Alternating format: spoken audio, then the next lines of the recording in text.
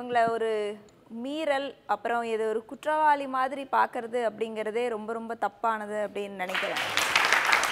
ஏன்னா ஒவ்வொருத்தருக்கும் அவங்களோட லைஃப்க்கான சாய்ஸஸ்னு சிலது இருக்குது அப்புறம் அவங்கெல்லாம் யங்ஸ்டர்ஸ் அவங்க இப்போ சொல்கிறாங்க உன்னை ஏர்போர்ட்டுக்குள்ளே விட மாட்டாங்கங்கிறாங்க உனக்கு கல்யாணம் நடக்காதுங்கிறாங்க அப்புறம் உனக்கு வேலை கிடைக்காது. இதெல்லாம் வந்து இன்னொரு அஞ்சு வருஷம் கழிச்சோ பத்து வருஷம் கழிச்சோ.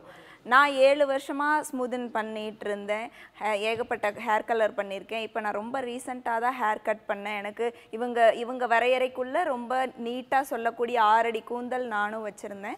பட் எனக்கு இது வந்து நம்ம எந்த கட்டத்துக்குள்ளேயும் சட்டத்துக்குள்ளேயும் அடையக்கூடாது அப்படின்ற ஒரு கான்ஃபிடென்ட்டை எனக்கு கொடுத்துச்சு. இதில் ஒய் நாட் அப்படின்னு நான் கட் பண்ணேன். எனக்கு ரொம்ப ரொம்ப வசதியாக இருக்குது.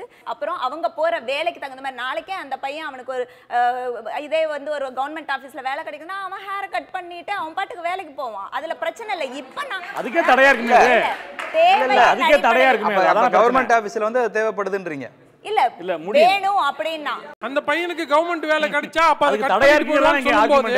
that is not accepted in the social society. இல்ல நான் என்ன கேக்குறேன் இல்லன்னா அப்படியே போக வேண்டியதானே அதே மாதிரி போக வேண்டியதானே இப்போ அந்த பொண்ணு போய் டாக்டரா உட்காந்து வேலை பார்க்கறதுல பேஷண்ட்ஸ் வந்து என்ன அந்த பொண்ணு கிட்ட அபியூசிவா பாத்திர போறாங்க? ஒண்ணும் கிடையாது. அந்த பொண்ணு டீசெண்டா இருக்குன்னு நான் சொல்றேன். இப்ப இவரு டாக்டர்னு வந்து கிளினிக்ல இருக்கும்போது நான் இப்ப எப்படி வந்து ஒரு அக்செப்டன்ஸ் வருமா? அவர் டாக்டர் இல்லையே. இல்ல, இல்ல. அவர் அவர் அவர் இருந்தா. இருந்தா இல்ல அவர் ஒரு டான்சர் நான் ஆரம்பத்திலே சொன்னதான் ஒரு தொழில் சார்ந்த ஒரு தேவைகள் இருக்கும்போது அது சார்ந்து நான் என்னோட பிசிக்கல் ஒரு அப்பியரன்ஸை மாத்தி வச்சுக்கிறதுன்றது தப்பே கிடையாது. அது அந்த தொழில் டிமாண்ட் பண்ணுது. அந்த அந்த அந்த- வேலை ஏன் ஏத்துக்கிறதுனால டாக்டர் அப்படி இருந்தா ஏன் அக்செப்ட் பண்ண என்ன கேட்குறேன் ஒரே ஒரு விஷயம் சார். அவரோட அப்பா தம்பி டேய் தம்பி உன்னோட அப்பா ஏதோ ஒரு பெரிய பெரிய விஷயத்துக்காக பேங்க்ல ஒரு லோன் போட்டிருக்காரு. ஓகே ஒரு இண்டஸ்ட்ரி ஆரம்பிக்க போறாரு அம்பத்தூர் பக்கம். அதுக்கு பேங்க் மேனேஜர் வர சொல்லியிருக்காரு அப்பாவை. சார் நீங்கள் மட்டும் கையெழுத்து போட்டால் பார்த்தா சார் உங்கள் பசங்களும் போடணும் சார் அப்படின்றாங்க. உடனே உன்னை கூப்பிடாரப்பா உடனே நீ பேங்க் போயிட முடியுமா? கையெழுத்து போட?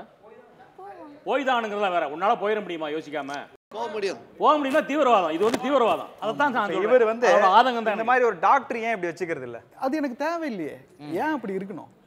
இன்னொன்று ஒரு டாக்டர்ன்றது எப்போதும் ஒரு பொதுமக்கள் கிட்ட ஒரு பழகுற ஒரு இடத்துல இருக்கிறாங்க. அப்போ பொதுமக்கள் அந்த டாக்டரை சார்ந்து பார்க்கிற பார்வை அவங்களுக்கு தேவையானதா இருக்கு. அப்போ வந்து இப்போ இவங்க சொல்ற மாதிரி அவங்க எப்படி பார்த்தாலும் எனக்கு கவலை இல்லை அப்படின்ற ஒரு டாக்டரால போக முடியாது. அப்ப இது வந்து ஒரு சொசைட்டில இருந்து ஒரு தள்ளி இருக்கிற ஒரு மனுஷனுடைய ஹேர் ஸ்டைல் தானே? இந்த சமூகத்தோட பார்வை இவங்க மேல ஒண்ணு இருக்கு. இப்போ அவர் சொல்றாரு இவங்க நார்மலே இல்லைன்றார். ஓகே. நீங்களும் ஒரு நார்மல் பர்சனும் போனா அப்படின்னா என்ன அர்த்தம்னா இவங்க நார்மலே இல்லை. அப்படின்ற ஒப்பீனியன் இவர் ஒரு சமூகத்தோட ரெப்ரஸன்டேட்டிவா பாத்துக்கிறேன் ஆமா. அப்ப ஏன் சமூகம் இப்படி ஒரு பார்வையை இவங்க மேல வைக்குது? இது வந்து ஒரு ஒரு சோஷியல் நார்ம்ஸ்குள்ள இவன் அடங்க மாட்டேங்கிறானே. இவனால அந்த சொசைட்டிக்கு ஒரு ஆபத்து வந்துருமோ. இப்ப நீங்க சொல்றீங்களா போலீஸ் ஸ்டேஷன் போனா இவங்கள தான் முதல்ல பாக்குறாங்க. இவங்க மேல தான் ஒரு நெகட்டிவ் ஒப்பீரியன்ஸ் ஃபர்ஸ்ட் வருதுன்னா அதுக்கு என்ன காரணங்கள்னா இவன் ஆல்ரெடி இந்த நீங்க கேட்டீங்களா ஆரம்பத்துல நீ இதெல்லாம் நீ சொல்லக்கூடிய ஸ்டேட்மெண்ட் என்ன? இதெல்லாம் நீ சொல்லக்கூடிய எல்லாத்துக்கும் ஒரே ஒரு ஸ்டேட்மெண்ட் தான். பிடிச்சிருக்கு. நான் ஒரு சோஷியல் நார்ம்ஸ்குள்ள நான் அடங்கல. இப்போ மேம் சொன்னாங்க எனக்கு வந்து அந்த லேடி வந்து ஷார்ட்டாக வச்சிருக்காங்க. அவங்க கூட போகும்போது ஒரு பாய்ஸ் கூட போறேன்னு ஒரு ஒரு இது வருதுன்றாங்க. ஏன் அதுக்கு நம்ம லேடிஸ் கூடயே போயிடலாமே? ஓகே ஒன் செகண்ட் நான் காலைல second. ட்ரெயின்ல வந்துட்டு இருந்தேன். இவ கூட தான் வந்துட்டு இருந்தேன். சரிங்க. ஒரு பையனை பார்த்து முறைச்சிக்கிட்டே இருந்தான். இவள புடிச்சிட்டே முறைச்சிட்டே இருக்காண்டி அப்படின்னு சொல்லி நான் எனக்கு வந்து இருங்க இருங்க இருங்க இருங்க. இவ பார்த்த ஒரு முறையில அவ ரெண்டு ஸ்டெப் பேக் போனான். சரி நீங்க? மறிக்கலாமே நீங்க மறிக்கலாமே. நீங்க ஏன் பயப்படுறீங்க? இருங்க நீங்க ஏன் பயப்படுறீங்க? எனக்கு பயம் தான் ஏன் பயப்படுறீங்க எனக்கு உங்களுக்குள்ள. தைரியம் இந்த சமுதாயம் இப்படி ஒரு இருக்குது. நிமிஷம், ஒரு நிமிஷம் ஒரு பொண்ணு. தனியா போக முடியுமா? Ladies இல்ல மாத்திக்கிட்டாலும் அவங்க gents நைட் ஆயிட பன்னெண்டு முடியாது. மணிக்கு ஒரு ஒரு பொண்ணு தனியா. போக முடியுமா இந்த கெட்டப்ல இருந்தா போக? முடியும் நான் போவேன் நீங்க நான் போவீங்களா? போவேன் சரி, நைட் night பன்னெண்டு மணிக்கு கூட போங்க. வரீங்களா நைட். போறேன் அது ஹேர் ஸ்டைல் மாத்துறதுனாலயும் ஏமா அது. மாறு வேஷம்மா இங்க பாருங்க இங்க அப்புறமா பாருங்க நீங்க மீச வைப்பீங்களா மீச வைப்பீங்களா ஒட்டு மீச இல்ல இப்படியே நாங்க இருப்போம் எங்களை மாறு புருஷன் வேஷம் ஏத்துப்பாங்க. கண்டிப்பா முடி வளர்த்தா தைரியம் போயிடுமா? இருங்க இருங்க இருங்க இருங்க. நான் ஆக்சுவலி போல்டா தாங்க இருப்பேன். ஒரு பெண்ணுடைய அடையாளம் வந்து பலவீனமான அடையாளமா அது. கண்டிப்பா பலவீனம் தான். ஒருத்தருடைய தனிப்பட்ட உரிமையோ அல்லது அவங்களுக்கான விஷயமோ இது அவங்களுடைய சாய்ஸ் இது அவங்களுடைய தனிப்பட்ட விருப்பம் உரிமை அப்படின்னு புரிஞ்சுக்கிற அளவுக்கு இந்த சமுதாயம் இன்னும் வளரல அப்படின்னு தான் நான் சொல்லுவேன். தமிழ் சமூகம் வந்து ஒரு ஆரோக்கியம் இல்லாத சமூகம்னு சொல்ல வரீங்களா? நிச்ச- ஆரோக்கியமா சமூகமா இந்த இந்த இந்த மக்கள் இருக்காங்கல்ல இவங்க வளர்ந்துகிட்டே இருக்கும்போது ஆரோக்கியமான சமூகமா அது வளர்ந்துரும். இல்லை சார் என்னென்னா இந்த எனக்கு வந்து இப்போ நான் என்ன பேச வந்திருக்கேன்னாங்க அந்த பையனோ அந்த பையனோ அந்த பையனோ பஸ்ஸில் என் பக்கத்தில் உட்காந்தா எனக்கு இரிட்டேஷனாக இருக்கும். அந்த இரிட்டேஷனை தான் பேச வந்திருக்கேன். இல்ல அதான் நாற்பது நீங்க வயசுக்கு அப்படி பேசுறாங்க.